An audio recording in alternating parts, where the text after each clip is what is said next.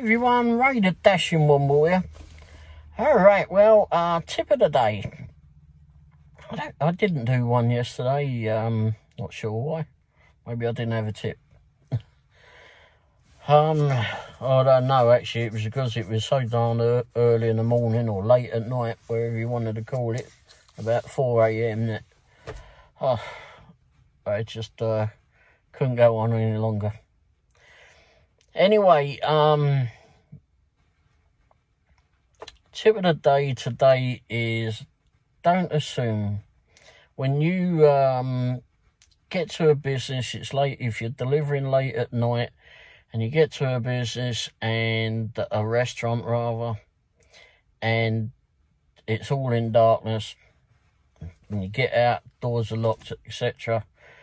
Um, don't always assume that no one's there. Don't just get straight onto DoorDash or Uber Eats or whatever. Call the restaurant. Um, they may well be in there waiting on you.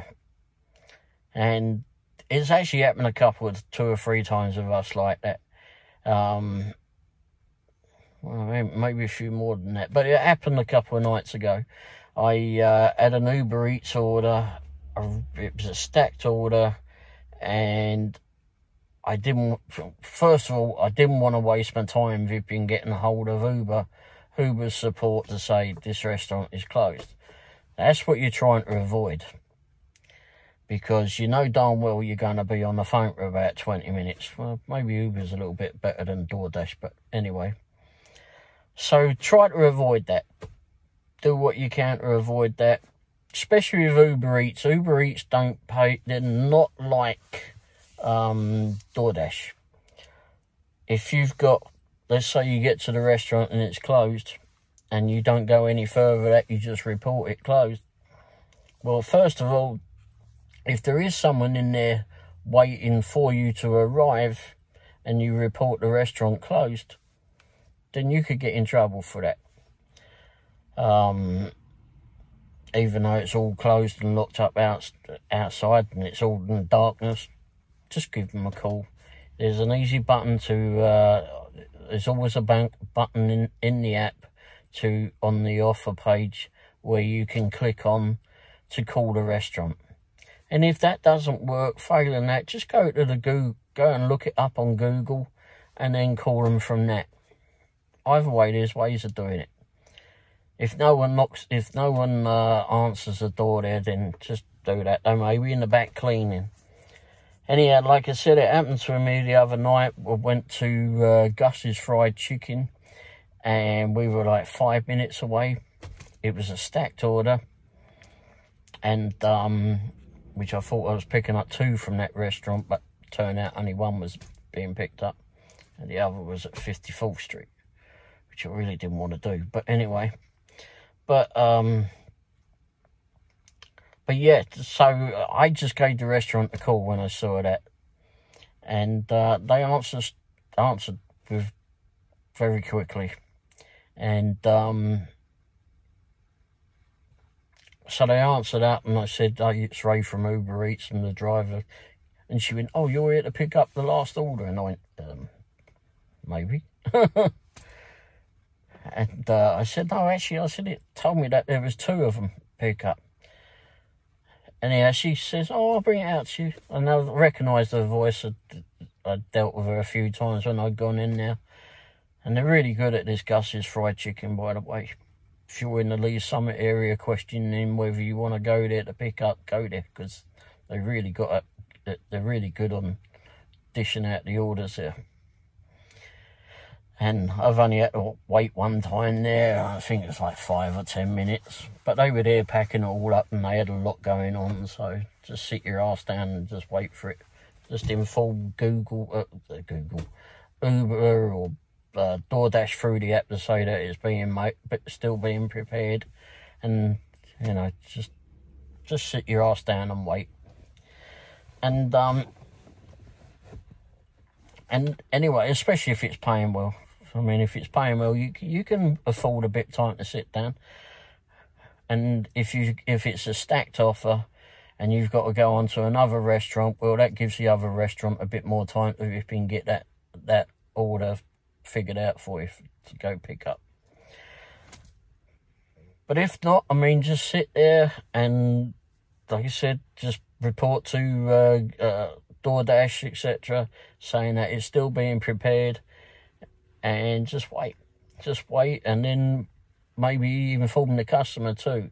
Um, if it's over the time for when you're supposed to pick it up by, just uh, hit on that saying, uh, just text the customer somehow. There's a button, always a button on there to contact the customer. Send them a text and just say, you know, uh, the restaurant is is a bit behind. Uh, they're very busy, whichever, but I'm uh, I'm waiting here and I'll be with you as soon as I can. Something along those lines. And they may respond to you, and some don't. Some don't respond, but most of them do. Anyway, so like I said, just give the restaurant a call. Even if it's in darkness, just give them a call. I mean, unless it's a stupid bloody Taco Bell, um, then uh, that clearly don't want to work. Then um, choose what you do with that one. There's so many fast food places that just want to uh, give up for the evening or don't have staff that turn up or whatever. There seems to be an awful lot of problems at these uh, so-called fast fast food restaurants now. Seems that somewhere along the line they've lost the uh, meaning of fast food, and it's uh, get it when when we're uh, when when we've uh, we've done it. that sort of line. Anyway, so always give them a call and that way, I mean, someone could be waiting in there. We've had it at um, Sonic before. Um, we've had it at a few restaurants, but Sonic for sure, we've had a cut with him. Because there's someone may wait behind to for you to turn up. If they know that you're getting coming along, they'll see you on the app. If it's one of those uh, restaurants that actually looks, rather than just goes, that shit, they ain't coming, and just go. But if they see that you're coming along, they look on their app. I don't know actually. I'm sure they can see where you're coming along. And uh, if they know you're coming, then someone may wait. But always cool.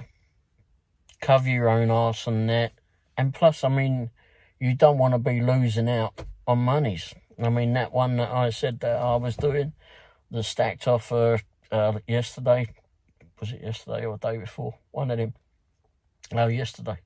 And, um, I mean, that total job, I mean, I done, I think it was like 24, 25 miles on that one. And there was two offers and it was due for, I think, a, uh, I think it was around about $35, $34, $35. It actually turned out to be another 10 $12 above that. So, yeah, just you don't want don't want to miss out on money, and there are and if you've accepted the stack offer like that, that is going to be a lot of miles. You really don't want to be just uh, dismissing that one, especially if it's Uber Eats. Uber Eats will more than likely just give you three dollars for missing that one, and uh, you have to move on to the next one. This reminds me, I've got to check my DoorDash to see if I got paid on that that one they that half pay. But um, but yeah, and if that's the thing, if it's a DoorDash offer and the restaurant is closed and you report it closed, then most of the time they will uh, give you half of what it was due, which would been a nice chunk of change for sure on that one for not having to do a lot. But it was um but again, I mean if you report it closed and there's someone in there waiting, then you might get yourself in a bit of bother about that with a DoorDash give you a violation or something. And if you do it too many times, apparently you can uh, get deactivated. Because basically, I guess you're committing fraud. But even if the place looks all dark. but anyway, always cool. It uh, helps you, certainly. Anyway, uh, thanks for watching. And uh, if you enjoyed the video, hit a thumbs up, please. And of course, uh, hit the subscribe as well if uh, you want to receive uh, part, being a part of the Dashing Womble community. And hit the bell icon too, that'll uh, warn you when the new videos come out. Alright, well in the meantime, um, I know the job can be a bit daunting first of all, but it's fun. It's a fun job. You get to see lots of things, you get to see some stupid things, you get to, it, it's just different just remember that you're not at, at, an office all day long or a warehouse or a shop or something. You don't have a uh, manager breathing down your neck, giving you grief. And um, basically your own boss and you have to motivate your own ass to get out and do these things. And, but it's fun being out there. You get to see different things. You get to see things that probably you've never seen before in your own, in, deliver, in your own town somewhere. Or if you like me and you you uh, drive to another town to go do do deliveries because you prefer it away, like me, uh, um, then you know you get you just get to see new new stuff. It's quite interesting at times. Anyway, uh, thanks for watching, and uh, I'll be back on there sometime soon. All right, cheers, ta-da.